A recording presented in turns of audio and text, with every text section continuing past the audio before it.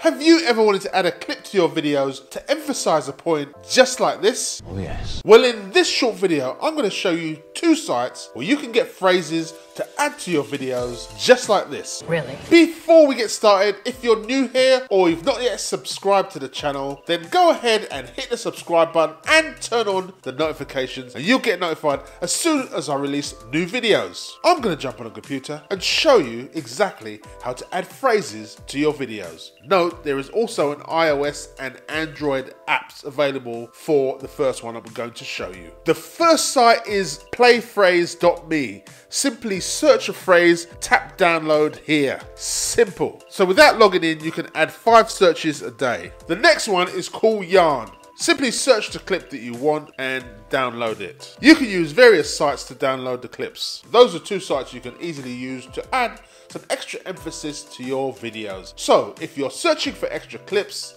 to add to your videos, you can either use playphrase.me or Yarn. If you like this sort of video, you know exactly what to do. Subscribe, hit the bell icon, and you'll get notified as soon as I release new videos. You don't want to miss what's coming up. I'll see you in the next video.